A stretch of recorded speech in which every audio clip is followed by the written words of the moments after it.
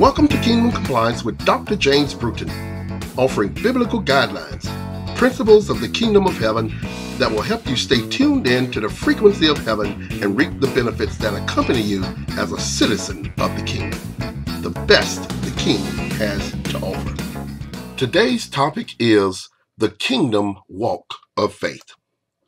In the King James Version of the Holy Bible, the word faith is only used twice in Deuteronomy chapter 32, verse 20, and in Habakkuk chapter 2, verse 4.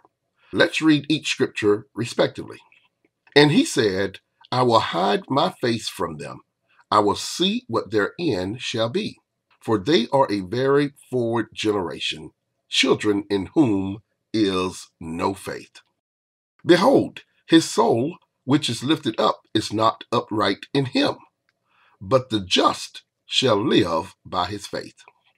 The Hebrew root word for faith is oman, which means to build up or support, to foster, as would a parent or nurse, to render firm or faithful, to trust or believe, permanent or quiet, to be true or certain.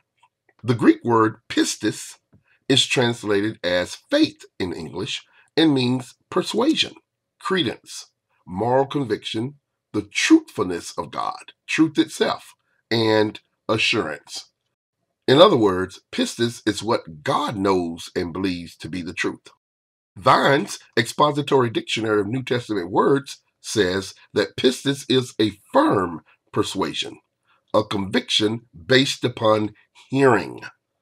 Luke chapter 17, verse 5 says, The apostles said to the Lord, Increase our faith. In response to his disciples' request to increase their faith, Jesus made it clear to them that they didn't need any more faith. He required them to use the faith they already had. You see, faith is the servant of the born again believer. It is the duty of the believer's faith to do what we command it to do. Our faith has been given to us by God to use as God uses faith. In other words, we use God's faith and God uses our faith. By faith, God's firm persuasion of what he knows and believes to be true, God called those things that were not as though they were. God believes and speaks his faith. And as being one spirit with him, every born again believer is to do the same by using the faith of God as God. God is faith and faith is God. God has distributed to every person the measure of faith. Let's read that from Romans chapter 12, verse 3. For I say, through the grace given to me, to everyone among you, not to think of himself more highly than he ought to think, but to think with sound judgment according to the measure of faith God has distributed to every man.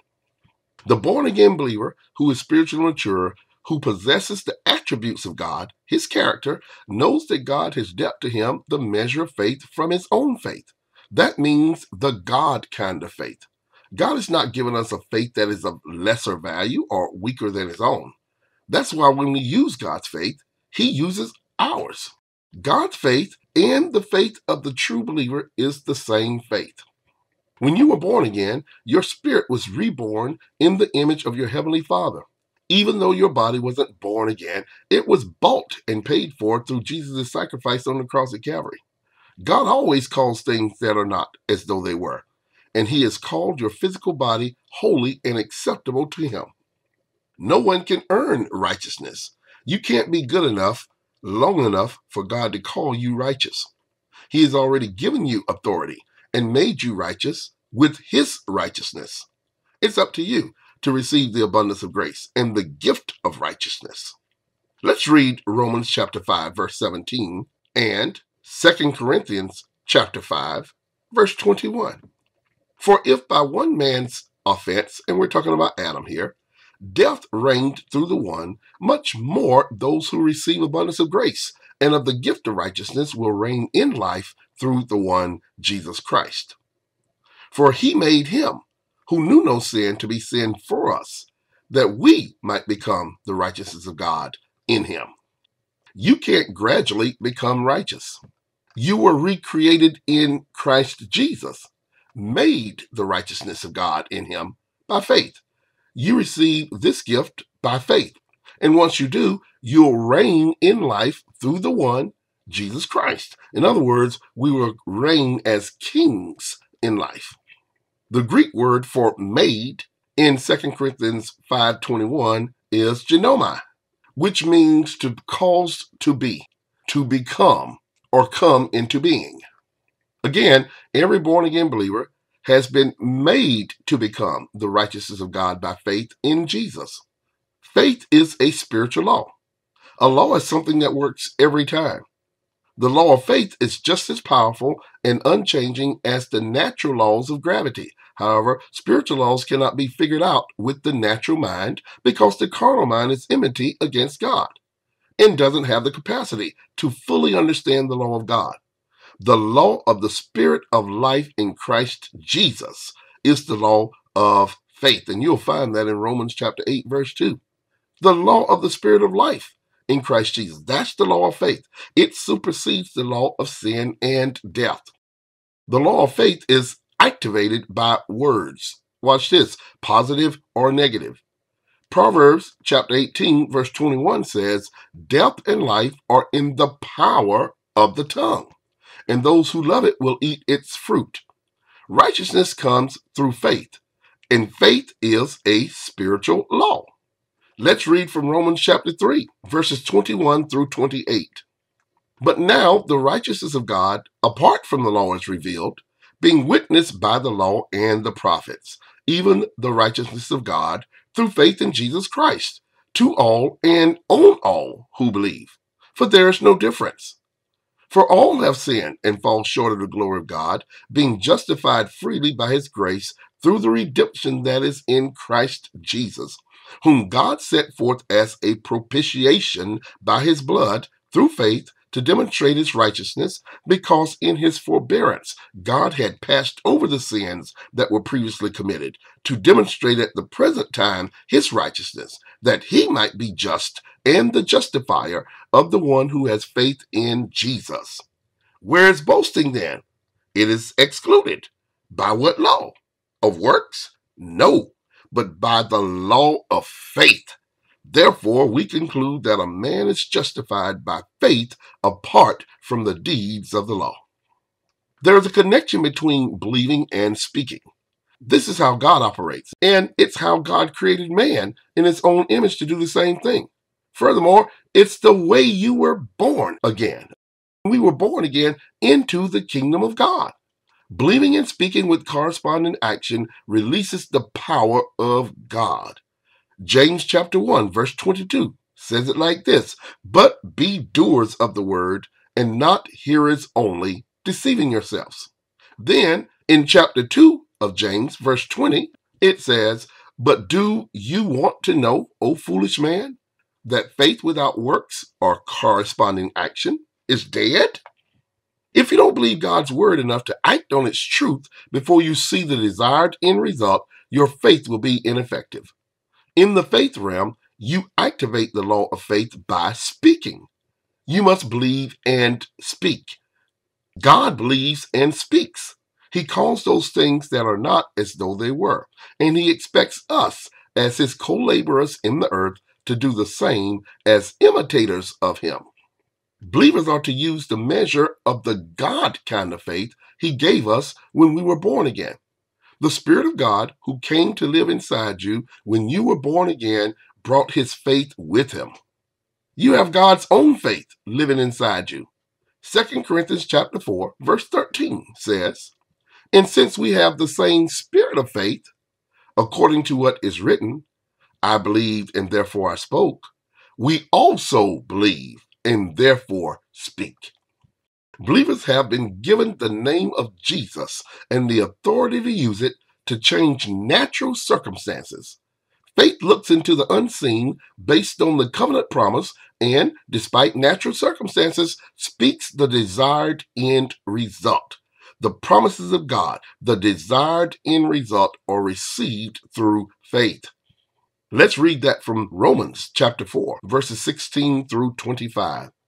Therefore, it is of faith that it might be according to grace, so that the promise might be sure to all the seed, not only to those who are of the law, but also to those who are of the faith of Abraham, who is the father of us all. As it is written, I have made you a father of many nations, in the presence of him whom he believed, that is God, who gives life to the dead and calls those things which do not exist as though they did, who, contrary to hope, in hope believed, so that he became the father of many nations, according to what was spoken, so shall your descendants be. And not being weak in faith, he did not consider his own body already dead, since he was about a hundred years old, and the deadness of Sarah's womb. He did not waver at the promise of God through unbelief, but was strengthened in faith, giving glory to God, and being fully convinced that what God had promised, he was also able to perform, and therefore it was accounted to him for righteousness. Now it was not written for his sake alone that it was imputed to him, but also for us. It shall be imputed to us who believe in him who raised up Jesus, our Lord, from the dead, who was delivered up because of our offenses and was raised because of our justification. In agreement with God's word to them, Abraham and Sarah called those things that were not as though they were every day, just as we are to do if we, like them, desire to see our circumstances change. As a result, they became strong in faith, giving glory to God for what he had promised them they received the impossible. In Romans chapter 10, verse 8, the Apostle Paul said, But what does it say? The word is near you, in your mouth and in your heart. That is, the word of faith that we preach. God upholds all things by the word of his power. The word of his power is faith power. Faith is the name of the created spiritual force of God, and it is produced in the born again human heart by hearing the word of God. Just as faith comes by hearing the word of God, watch this fear comes by hearing and believing the lies of the devil, who comes to steal, kill, and destroy. God's covenant, blood backed word, paints an image inside you that says you're healed. The devil shows you symptoms and tells you you're going to die. Now, you have a choice. The facts say you're sick, but God's word, remember now, what God knows and believes to be the truth says you're healed. Whose report will you believe? If your faith is weak and fears tighten its grip on you, remember Romans chapter 10, verse 17. Faith comes by hearing, and hearing by the word of God. Put the word of God about your healing in your ears and before your eyes, and speak it boldly out of your mouth. Faith will begin to grow and choke out the fear. Jesus is the Word made flesh, the living Word, and He is love. If you'll stay with the Word, believe you receive what it says, and act like it's true, no devil in hell can stop the power of God's Word from manifesting healing in your body.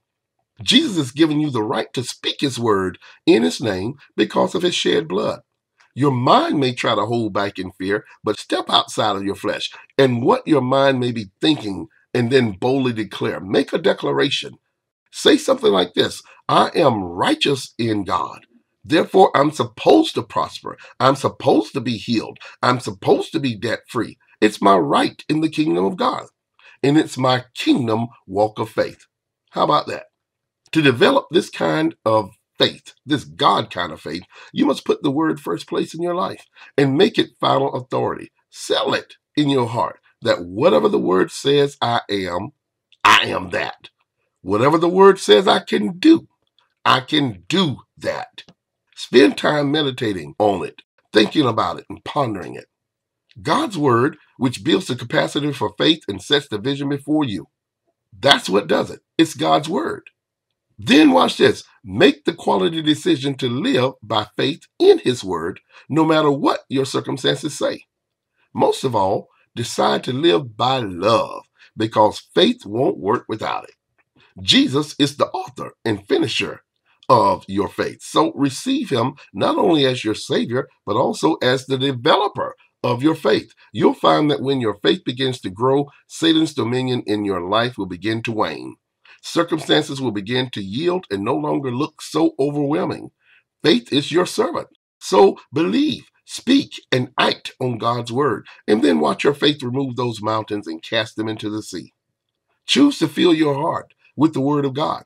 Put those scriptures concerning healing, finances, and deliverance before your eyes, in your ears, and in your mouth. Think about them, believe them on purpose, and speak them day and night. Your faith, the creative power of God Himself working in your spirit, will come roaring out of your mouth and send the devil packing. The truly humble believer knows that God has dealt to him the measure of faith, the God kind of faith that speaks to the mountains in his life and to the mulberry trees blocking his way. He doesn't doubt the faith God has given him, but boldly commands those obstacles to be removed and cast into the sea. The humble believer operating in the God kind of faith, faith as God, casts out devils and lays hands on the sick. He knows by faith that they will recover. He believes he receives when he prays. He doesn't boast about himself and what he can do, but he walks in the royal law, the law of love. That makes the faith of the humble believer full of the power of God to continue the ministry of Jesus in the earth. The humble believer is an ex- exhibition of the kingdom walk of faith. If you would like to refer this episode to others, click on share and subscribe to the YouTube channel to stay up to date when new episodes drop. Thanks for joining me. I'm glad you did. I hope you join me next time for Kingdom Compliance with Dr. James Brewton, where we stay tuned in to the frequency of heaven.